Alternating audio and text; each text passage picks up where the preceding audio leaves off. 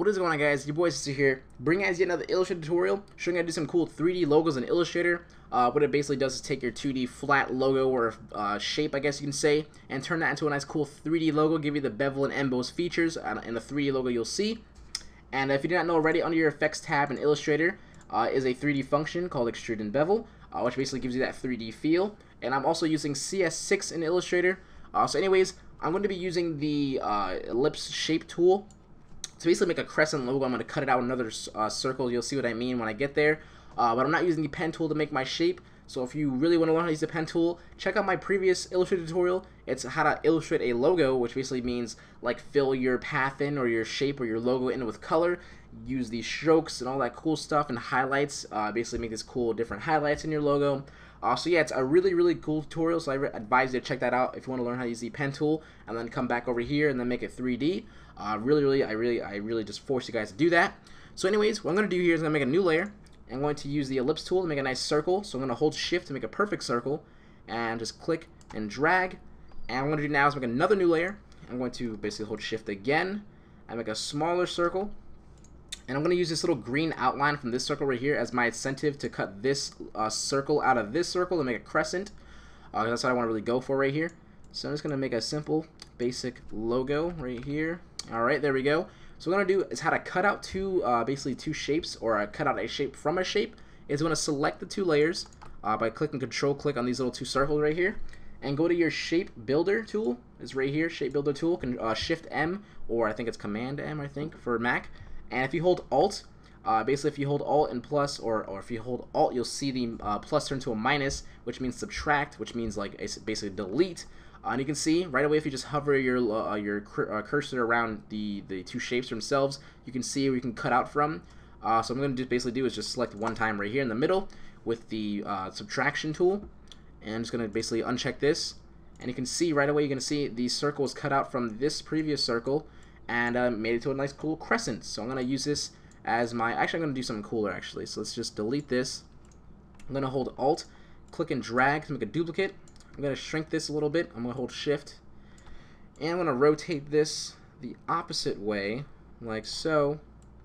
And then give it a cooler look. There we go. So this is a little example logo I'm going to be using. Very, very simple, obviously. So let's get started. So I'm going to go ahead and select the layer to make it 3D. I want to go to Effects, 3D, extrude and bevel. And then right away this little cool tab comes out with your options and all that cool stuff. Uh, so right away I would say select preview so you can see what you're actually doing. And also right away, uh, you can change this afterwards obviously, but I say so you can see what you're doing. It's change your perspective to about 90. And then right when you do that, you can just freely come over here to this little uh, 3D axis little square right here and move it around and kind of give it the shadowing you want it to give. So just watch this little black, or not black, this little grayscale right here basically your 3D part. Turn a little, you know, turn it, and just kind of give it a cool pers uh, perspective. So right here, let's just mess around with it. I have it forward or face right to us. Kind of looks good that way.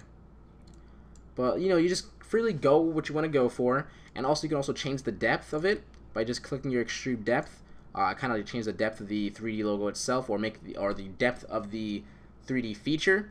I guess you can say I'm trying to like make this not because this is obviously not a 3D program, but this is kind of like a 3D uh, plugin, I guess you can say, for it. So let's say I'm going to move it to about 105. I like that. And also, if you want to, like, uh, obviously in your free time, you're probably to mess around with your bevel, uh, which basically is you can make a jaggedy, uh, cool little cut logo, or, you know, uh, how do you say, rounded. So you can say, I'm going to show you how to do this manually as well, so if you don't want to, like, have everything rounded, I'll show you how to do this manually with the uh, pen tool. So it looks cool like this, but I'm just going to keep it on none. You can play around with those if you want. After you're done with that, you just press OK, and you're ready to go. So I'm going to like move this up a little bit though. so what we're going to do now is basically split the 2D from the 3D. What I mean by that is take this gray, you see this lighter gray? I'm going to split the lighter gray from the darker gray. So you can actually you can actually see a little bit right now. We're going to fix. You can kind of see these little ripples in the dark gray. Uh, we're going to fix that and connect them all together so it's nice and smooth. So we're going to do is select the layer, and we're going to go to Object, uh, ex Expand Appearance, and you'll see all these little dots and come up. This is basically your paths. What you're going to do is just go to your drop down all the way so you can't drop them anymore. And you'll see these little four or uh, however many groups you have. Uh, what that basically is is the dark gray from the, the lighter gray. And uh, obviously your 3D from your 2D. So if I just unchecked one, I just show you what I mean. Uncheck, you see that's like the 2D like image right here. and so is this one. So I'm going to name these two, I'm just going to just double click and just name it X so I know what these two are, uh, just freely. So when I put in a group, a separate group, what you're to do.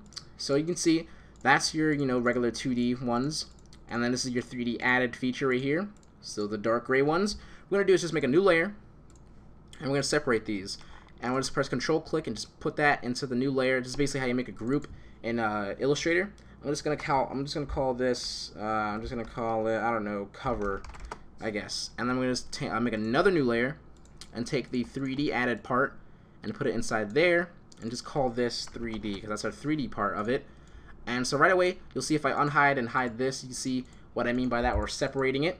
So if I just highlight the 3D now and go to Window, Pathfinder, and then just simply just select the first one and you'll see these little little jaggeds and those little cuts in between if you just click on it it combines them makes it nice and smooth and now you're ready to go and add color so it's just a, basically a really cool quick way to do it and I just find it easier to do it that way uh, a lot of people don't do it that way but I just feel like it's just so much easier uh, so anyways yes let's go with that so now I'm going to do is basically add the color uh, really, really simply just click on the layer you want to start off with this is the cover so this is basically the flat 2D uh, logo part that we're going to make just change the color around. We're going to make a gradient though. And we're just going to simply select this white, double click on it.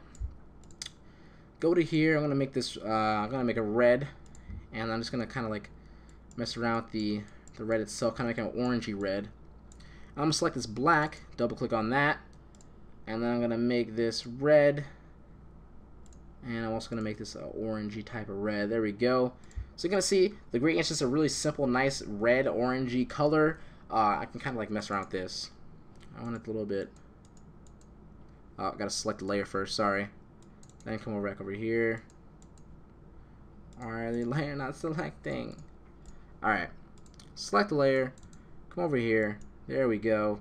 Now I have like a nice orangey red. So always, when, you, when you're changing your color or anything you're doing to a separate layer, make sure you select it. Uh, otherwise it won't work. You saw me do that, so I kind of struggled right there, but I fixed it right away.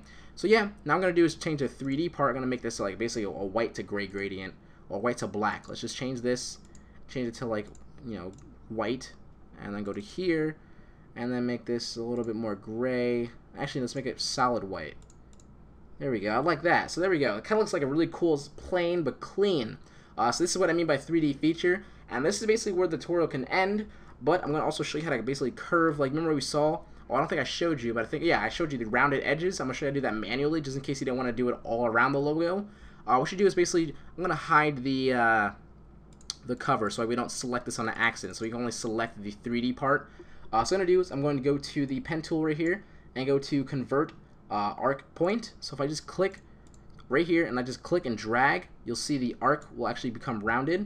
And I can go back to the, uh, the move tool and then just take this handle and just go something like like this and kind of give a little cool little arc to it, like a little rounded shape to it. So this can be arced, and we can do the same thing over here just because. Go to here, click, nice little handle, go back to the move tool, and kind of give it a nice little handle. There we go. So yeah, you can do something like that. It looks pretty cool. And I'm just going to keep those as whatever. But anyways, you can always fix that if you want. Make it how you want it. But like I said, that's basically the tutorial and how to like make a nice cool 3D logo in Illustrator. So like I said, it's gonna be it's really really cool. You can always just mess around with other cool things as well. Like I said, the uh, the bevels, you know, the features in the 3D itself, like change around, mess around, all those type of things. Uh, the perspective, always do something different. And I just really feel like it's a really cool tutorial. So if you enjoyed, make sure you guys leave a like and a comment. Always comment down some new tutorials I can do. And follow me on Twitter at SesOHQ. And I appreciate you guys so much. So I'm really close to 20k. I, I don't know, the 20k pack is going to be so massive. I just really working really hard on it. I appreciate all your guys' support recently. And uh, yeah, so I'll talk to you guys later. So, switch you out. Peace.